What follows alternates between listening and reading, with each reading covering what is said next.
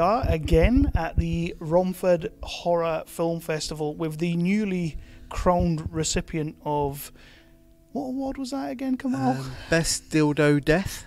I mean, that's an um, award. I mean, it's an award. Yeah, yeah, yeah. It's an official award. He, he told me about it about two hours ago. Yeah, that was the first time I'd heard about that award, and uh, I was like, "That's that's that's something." It's yeah. I mean, it's probably the first dildo award I've won. So But yeah, so um, I am sitting here with Kemal, and there's no point saying what film we've just saw, seen on the screen because you have literally had about six or seven different projects that you were involved with yeah, on yeah. on the screen. So tell us a little bit about the films we've been shown, what you're all involved with. I know Video Shop Tales of Terror, t- um, Tales of Great War, uh, your film, The Haunting of Lady Jane. How do you have time for all this? Um, well, it's what I love. I'm born to do this. It's it's my passion. Being on, you know, being on film sets is it's what gets me up in the morning. Like I love uh, that creative process. Um, I love the collaboration of people, um, and I'm just really lucky at the moment. It's going really, really well, and I'm really happy with how it's going. And I'm working with some amazing people on some really exciting projects. So, yeah, I mean, where Yeah. do we go from there? So Do you um, want to talk about each one? So on that, let's bounce back first. Let's bounce back a little bit because I'm interested to know. Yeah, you're a lucky guy, and yeah, you've been getting all these projects recently, and you're a very collaborative man. But where did it all begin for Kemal? Why did you get into filmmaking? What was it that made you want to do it, and why the hell would you do it? That's a very good question. I ask myself that every day. Um, I I was a very um, isolated and lonely kid. Uh, um, I found it quite awkward to kind of, you know, I was quite shy. I was I was very very shy as a kid, and there was one escape that I loved, and that was cinema. It was film. I'd, I'd escape into film and just watch film after film, and I felt like that was a safe safe uh, place to be. And then I kind of found that when I started to make my own films, because I actually started out as an actor, so when I started to act in films, it started to give me a lot more confidence, Mhm. and it kind of it broke that barrier that I had that I'd built up. Um, you know, this self isolation that I'd built up, and film just kind of gave me that Mm. that drive to just go out and do what it is that I wanted to do, and yeah, and it kind of stemmed from there. And I've been obsessed with film ever since I was a kid, ever since I was four or five years old. Awesome, awesome. I like that. And um, and was there any particular film or actor, director, or anything that you saw on the screen and you were like, yes, it was your escape. It was the way to, to get away from the isolation and whatnot and, and escape into cinema. But was there any sort of particular project or film that you saw that made you think that is exactly what I want to be doing and that's why I'm going to do it? See, that's a difficult one because I've wanted to be a filmmaker for as long as I can remember. Yeah. Literally, as long as I can remember. Maybe not necessarily film, but I know I wanted to tell stories. And I thought I wanted to do that as an actor. But for me, I started off like obsessed with Bruce Lee. Yeah. That's actually how I started. I, I was massive into the martial arts genre. I still am. I still love martial arts genre. Um, but Bruce Lee was like my, my hero, my, my idol. And his films, I kind of, you know, it, it, and then I actually started watching his films, and then I started to research about him as a person and realised the struggles that he went through Mhm. to get to where he was because he was the first Asian actor to really break that mold, you know, and, and be accepted as this big star, I thought. But he actually had to go back to his home country of Hong Kong, you know, and China to, to break that mold. So I found him really inspirational, and that kind of his his life and his work pushed me to want to pursue film. So you're a massive martial arts fan. Yep. Bruce Lee inspires you, Mm-hmm. but you make dramas and horror. Yes. well, you know, they he- he inspired me, but I knew that Yeah. me no, I- I being a martial arts director really wasn't really wasn't my passion. It was it it it kind of stemmed from wanting to make action films, and then really it stemmed from wanting to c- tell compelling stories about Yes. the human condition. And I know that sounds a bit you know artsy fartsy and, and director like, but essentially that's what I'm interested in. I'm hmm. interested in broken people, broken vessels, and telling stories about those broken people and how they try to somehow find redemption, hmm. even though they might be completely broken. And that, I think, again, it stems from you know my childhood and and my own because you know I've you know had various bouts where I've suffered with you know my, my own mental health issues and and struggled to really find my own place in the world. Mhm. And I try to do that in film. I I, try, I want to explore characters that are going through through trauma, but somehow manage to find a way to kind of deal with that and turn that around.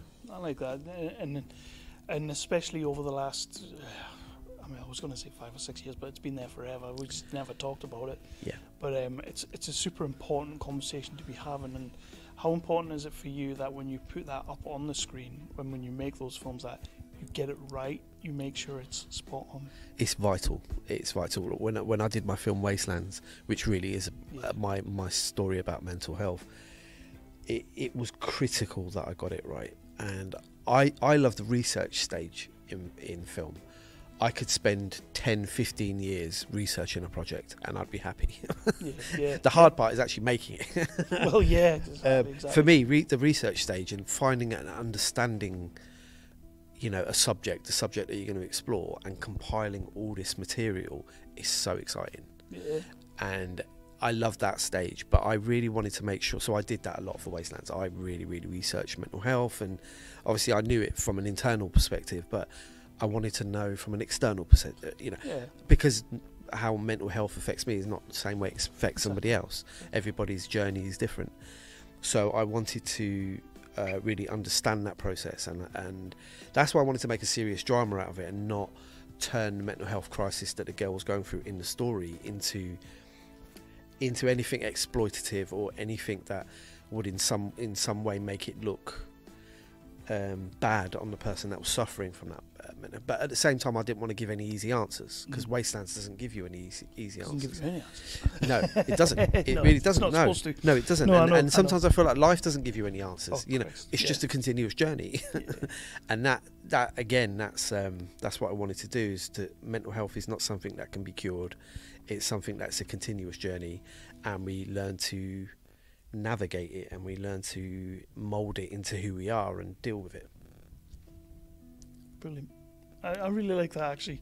It's it's something that um, everyone, not everybody, people struggle. They really do, and, and I do myself a little bit as well. And, and that's why when I see movies like Wastelands and, and The Haunting of Lady Jane and some of the other movies we've had here that have dealt with those the, the uncanny that we showed, um, they are so important, and it, it's even more important to get right. And with your movies, you seem to toe a really fine line of like it could go a little bit absurd, it could go a little bit too far one way or the other, but you toe a fine line very elegantly, and, and I'm glad you do. And I just want to point that out. Thank you. Um, you are a DOP. I am. Yeah. You're an actor. hmm You're a director. You, Yeah. you sing the theme tune. You write the theme tune. What's your favourite aspect of filmmaking of all those things? Oh, that's such a difficult one. Um, I love each each aspect. I love for different reasons. So acting, I love sinking into a character and disappearing into a character if I have the opportunity to do that. Um, I love exploring characters from an emotional standpoint and how they get to that you know place. I don't always get that opportunity to because sometimes the characters are absurd or, or funny or whatever that is. Um, directing for me is directing for me is really good for my mental health Right. because it allows me to control an environment which is an environment of my own creation and it allows me to not that I'm, I'm the most controlling director I don't mean it in that way but I can control the story and the, and the way that that story goes so I love that aspect of directing. DOP work I love collaborating. Yeah. I absolutely love collaborating with other directors because we've all got such different visions. Mm. and getting being able to kind of translate that vision onto the screen is exciting. It's so exciting. Painting with light and and shadow and color palettes and composition you know and camera movement and all this stuff that we've you know these tricks that we can play with. It's so exciting so I'm, i love collaborating and i'm working with some amazing uh, filmmakers like michael fausti you know andrew Eli- elias and you know just these incredible people that have got huge talent you know as filmmakers and i you know they're allowing me to come on board and tell their journeys and I, you know that that to me is great so i love collaboration um yeah what else do i do everything, everything, Yeah. everything. But yeah, I love I love every aspect. But if I if I had to choose, if someone put a gun to my head, it would probably be directing. Nice, nice. Last year you gave us Wastelands, which uh, really did well. Everybody loved that uh, on on the panel, and, and the the guys in the cinema all loved that. This year we've got the Haunting of Lady Jane, a very very different Yeah. movie, which Mm-hmm. I was quite. Sounds weird, but I was quite happy to see that you moved in a different way because I, I like to see directors that not only are progressing and leveling up, but like doing different things.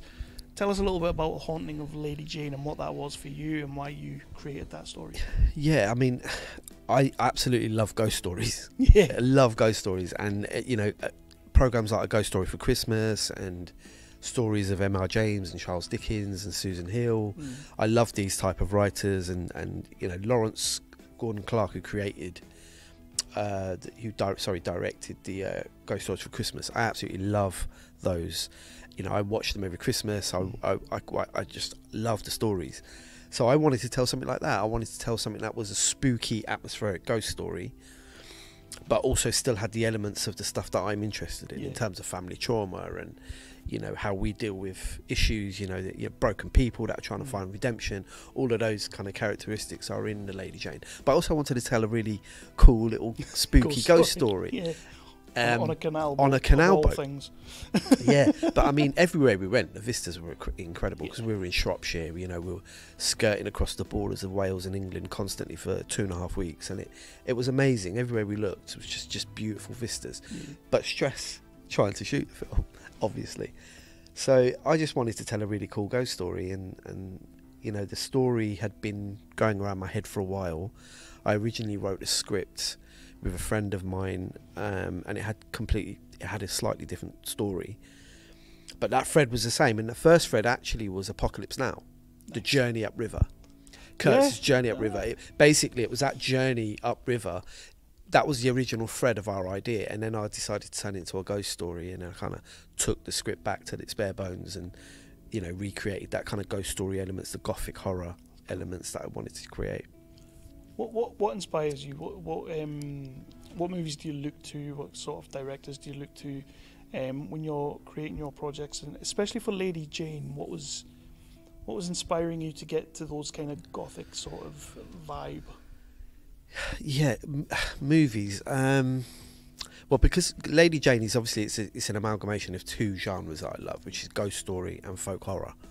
So visually, in terms of films, I relied heavily on films like Wicker Man and and Blood and Satan's Claw and these brilliant films from the seventies that would just, you know, whenever you think of folk horror, these films come in.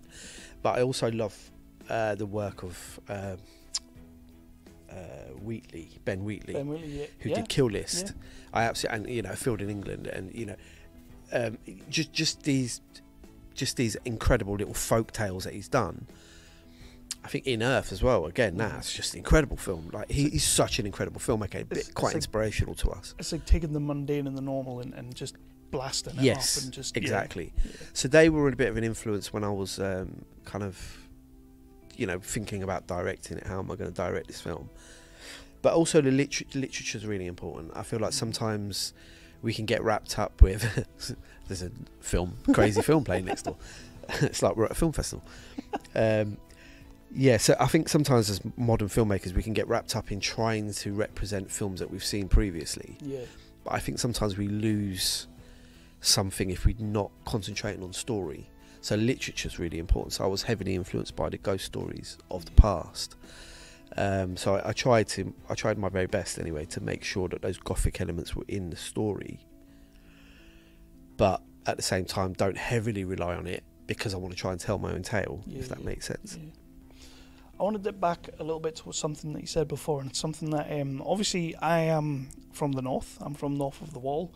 I'm not from these parts, but when I come down here, this is the second time I've been down to the festival and, and met so many just awesome, talented filmmakers and everything. And you mentioned about how you're a, a prolific collaborator and part of all these different projects. How important do you think it actually is, and how important is it for you that you all kind of stick together, build each other up, push projects forward, and festivals like this? How important is that? massively important, hugely important. The the I find, you know, in my you know humble opinion, I feel sometimes as filmmakers we're pitched against each other. Yes. Like there's this, you know, I need to be better than you, or my film needs to be better than yours, and I, I don't really subscribe to that mentality. For me, we're all we're all artists because for me, film is art before it's commercial. That's always the way I'm going to be. That will never change. I it it's a completely collaborative process. So why, if the process of filmmaking is collaborative, why can't filmmakers collaborate? Yeah. So for me, filmmakers coming together to help each other make their films better. Because if, if a filmmaker with so much experience comes on board to help me, why would I scoff at that? That's helping my film get better. And I, as a filmmaker and as an artist, want to get better. Yeah. I want to impress, uh, you know, progress and impress. Yeah. um, so in order to do that, collaboration is the key, in my opinion. And at the moment, we've got a great, like uh, Lal Singh, who's kind of creating this kind of, you know, the curator, Yeah. who- as we've as as we've named him, is kind of bringing this pool of talent together. Yeah. And you know, you've got these incredible people coming together: actors, crew, directors, writers, that just want to help each other out, and we're all getting on board each other's projects and pushing each other's projects. It's it's awesome to see because a couple of years back, five, six, ten years ago, that would never be the case. No. And- but the thing is, you know, 20, 30 years before that, that was the case. Yeah. And then it just sort of changed, and then it's like, like you say, there's a certain prestige to it. Like this is my movie, you can't touch it, you're not allowed near it. Yeah. But now I'm seeing, especially in the UK, obviously I'm based in the UK, so I can't really speak for any other countries, but in the UK we have a fantastic, especially down here as well, and it's coming up north because you've got the likes of the Bashford brothers and um, the Con- uh, Craig Conway setting things up up there as well. yeah, yeah, Just the collaboration right now in Yeah. independent filmmaking is absolutely fantastic. It's Yeah. a good time to be in there, hmm and um, you keep bringing back Natasha and you keep Yeah. bringing back Sean. And what is it about these two guys that you want to have in your movies? Well, for me, it's finding you know it. It's for me, it's finding talent that want to tell stories Yeah. and push themselves. So finding acting talent that wants to, you know, rather than seeing themselves as just, you know, I, I just want to come and deliver some lines, play a cool character and disappear. These people are interested in stories, and you know, um, Sean is so multi-talented as an actor. You know, he has emotional range as an actor that he can go to. He's a great actor to work with. Um, so I, I was pleased to be able to bring him back for this one. You know, and um, you know, it- actually seeing him at Romford was my f- favourite screening so far because I thought his performance was brilliant and it was really nuanced. Uh, yeah, in the Lady Jane, and it it was I didn't notice some of the nuanced stuff because when you edit it for so long, you get you know you get lost in the technicality and trying to tell the story and hitting the beats, and I, just some of the nuanced performances that you know he was giving in that film actually come across really really strongly, and you know it's just I bring these people back because they're brilliant. You know why would you not want to work with people that are so talented? Yeah. And Natasha's fantastically talented. I met her for Wastelands, and she came in and she just completely and utterly blew me out, blew me away with her with her skill as an actor. So I knew, what you know, we um, we wanted to work together again, so we did for this one. You know, I mean, you know, congratulations to her. She just had a baby, you know, so she's got now a family going Yeah. going on, so she might not be able to do projects for a little while, but that's fine because in the future, Yeah. if the chance ever comes again, I'd work with her at drop of a hat. You know, she's wonderful. She- So she- she it's all does- about again collaboration. She does seem to have this insane sort of intensity about her. Mhm. Like Yeah, even sort of like the happier scenes as well. Like th- there's just something about that like I love seeing her on screen. So keep casting her, keep using. her. yeah. She'll be pleased to hear that. But but on that, what's next for Kemal? What are you working on now? Is there anything you can talk about? Anything you can't talk about? Yeah, I mean, there's a couple of projects I can't talk about, but I can say that I'm I'm DOPing three features this year, a couple of short films. So, and it's for the, the guys that I've mentioned. So we we we are working on stuff. Michael Fausti's got a project that I've just DOP'd. We're just about coming to the end of it called Burnt Flowers, yeah. which is just a, an inc- it's going to be an incredible ride. That film. Talking to uh, Aviana a little bit earlier, and she was talking about that. Yeah. The guys keep telling me about burnt flowers. So Yeah, it's an exciting little project, and you know, Fausti's a talent. Him and Lou, you know, they're together. They're they're a talent talented pair, and I'm just lucky that I've kind of got kind of you know got in there with them and we're collaborating because I think we just make each other better. Mhm. You know, we bring the best out of each other and we're creating some great stuff. And his burnt flowers is going to be great. You know, we've already got a lot of exciting stuff happening around that. So, you know, watch your space with that Oh, with that one. Definitely, we will, we will be keeping an eye. Um, so yeah, there's there's obviously that. There's another project that we're developing together, me and Michael, and then me and Andrew from Chow Handy uh, Productions. We're also developing a project. We're obviously always talking to Lyle. We've got projects going on. I'm directing uh, a segment for Video Shop Tales of Terror 2, Nice, nice. which is a kind of Ken Russell inspired, Devils inspired kind of thing called The Serpent's Tongue. Awesome. So yeah, I mean, there's loads going on. Uh, I've got my own direct uh, directing job coming up next year, which I'm going to be directing my next film next year. So there's loads going on, loads, loads. Well, loads. you've been doing like about ten different projects a year right now, so I expect you're gonna keep going, and uh, yeah, it's good yeah. to see, and I'm happy to see it, and, and I'm glad that you gave us a chance to, to show some of the work up here, and, you. and the other guys as well gave us a chance to show their work. Um, one thing I like to, and you've kind of already mentioned this, but um, one thing I like to end on, and if you could expand a little bit more, is that filmmakers, uh, directors, actors, creative s- producers, whenever you ask them about their movies that they watch up on the screen, they'll tell you everything that's wrong with it. Mm. Hypercritical, of course you are, tortured artist and everything like Mm. that. But um, what's the one thing when you were sat watching The Haunting of Lady Jane that you saw up on the screen and you thought we smashed it that day? That's an awesome performance. Yeah. Oh, that's Oh, an awesome uh, yeah, yeah, yeah. Um, there's actually quite a few in Lady Jane bits that I'm really happy with. Um, I think overall we got the tone really, really right on the film. I think the tone is really good, and I think it does really sit nicely within that ghost story element. In terms of what particular bits I'm happy with, I love, um, I love the family stuff in the film. So the, the flashbacks that tell Lily's story and her trauma with her family, the actors that I had um, on that, um, which were you know Rosalind Stockwell, Roseanne Priest, Andrew Fett. These guys were just incredible to work with. Like I was humbled to, to work with them because their ta acting talent Makes your job easy. it makes my job very easy, ex- extremely easy. And they, you know, and they were very invested in the characters and they were invested in the story, and and and that was I really enjoyed that. I enjoyed that. Camden was crazy. Shooting in Camden was crazy. Uh, and the characters you see in Camden just make a film. You know, you could just literally just go around filming the characters in Camden. You got a film right there. So that was that was also really uh, great. There was one day when we were shooting on the boats where I think we worked. I think it was 19 hours, um, or, like in one day on while we were on the boats, and I was proud of the stuff that we shot Mhm. Especially considering the time, you know, the amount of time we're working and the dedication of the cast and crew to kind of keep going, even though in their heads they probably wanted to throw me in the water, but they carried on Yeah. because they're professional and they wanted to get the job done. So, you know, there was that particular day that I really am proud of and thankful for because, you know, people went that extra mile for me and my project, you know, so that means a lot. There's loads. really is. I'm actually quite happy with Lady Jane. I think it's I think it's a good. You Li- should uh, yeah, well. I'm, you know, I'm I'm happy with what we managed to achieve. I mean, I bit well, off more than I could chew, but that's what we do as filmmakers. Yeah, well, yeah, yeah. It's, if, if it's uh, if you're if you're not learning, it's that old thing. Uh, footballers always say like, if it's not raining, it's not training. You know, Yeah, it's, yeah. you've got to you got to test yourself. You've got to push yourself. yeah, And um, I mean, I watched some of Lady Jane up on the screen. Obviously, I had a couple other things to do and all that, but it looked fantastic up there. It looked great. So it's good. Plus, I've watched it like two or three times anyway. So, thank you, thank you very much. I really appreciate it. but no, um, I just want to say again, um, thank you for submitting the movie.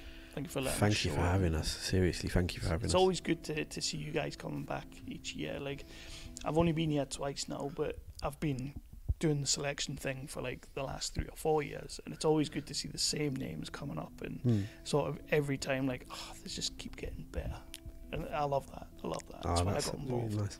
Keep doing the great work that you guys are doing because Well, you know, I without say it's great work, but without I mean without somewhere to screen, you know, without you know, you guys are giving us an audience. You Yeah. guys are giving us that opportunity to, to speak to people and, and, and you know speak to people about our work. So that's always that, that is also one of my favorite things. Like when you when you're walking around during the day and all that, and there's like ten or ten or eleven different filmmakers all sitting at a table, just sitting and cracking, and it's like, yeah, something good's gonna come out of that conversation. Yeah, yeah, exactly. well, a lot already has out of Exactly. Film Festival. So. Exactly. So what I want you to do, Kemal, we're going to wrap that up there. But what I want you to do first is to uh, let people know who are watching or listening, where they can see more of your work, where they can find you on social media and everything like that. Yep. Just a couple of minutes to, to, to pimp yourself. Yeah, well, um, if anyone is interested in looking at my stuff, uh, it's always under Kemikal Film, which is spelled with a K, K E M I K A L. Um, which, if you Google it on um, Instagram, Twitter, Facebook, it'll all come up under Kemikal Film. So that's it. If you're interested. Everyone will be interested, of course they will, and I'll uh, I'll be tagging everything when I put things out and everything like that. So don't worry about that. You'll find it nice and easy. But again, Kemal, thank you so much for doing this. Thank you, I really appreciate it's, it. It's great to see you again. Yeah, nice seeing you too. Thank Yeah. you very much. Look forward to the next time. And I'm glad we didn't have any dirty feet in this one. Yeah. And that award, by the way, is well deserved. Thank you. Thank you very much.